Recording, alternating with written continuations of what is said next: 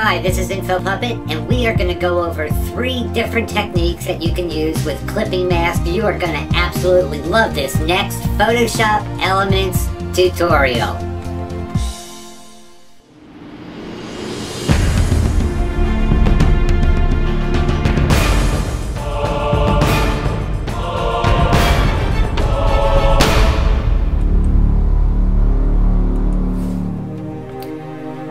Photoshop Elements 12 is open up. This will work fine in PE 11 and PE 10.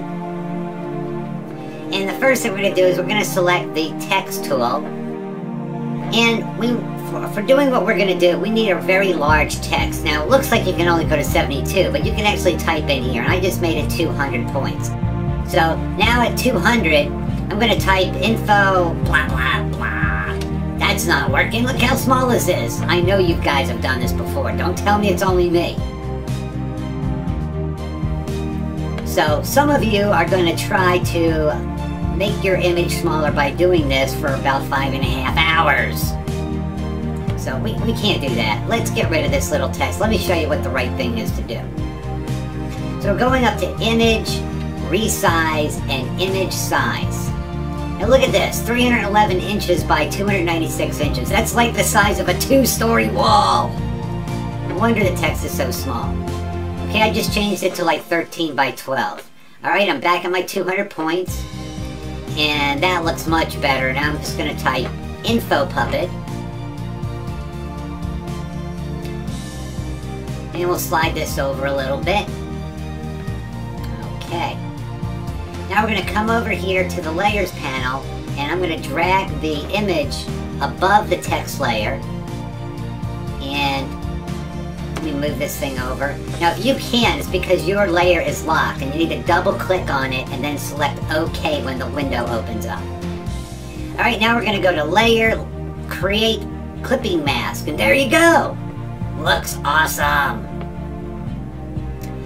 Now, if you want to move the text around, we'll select the text layer and, uh, wait a minute, the background's moving, not the text. Let me try this again. I'll select the text layer and the background's still moving. Well, maybe I'll try it one more time. You know, they say the definition of crazy is doing the same thing over and over again, expecting different results. But look, now the text is moving, it's because I'm using the arrows on my keyboard. So just for you to know, if you want to move the text, only going to work if you use the arrows on your keyboard. Okay, now we're going to dra uh, drag the text layer into the trash. Let me fix this. Perfect. Okay, now we're going to select the shape tool, the custom shape tool. I'm going to select the round rectangular tool, and I've got my radius at 65 pixels.